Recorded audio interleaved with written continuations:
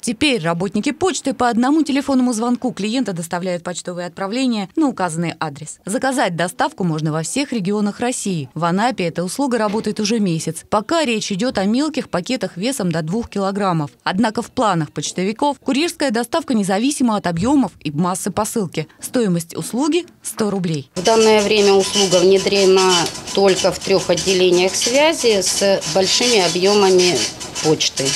Это городские отделения связи. В дальнейшем, думаю, что будет внедрена и в остальных отделениях.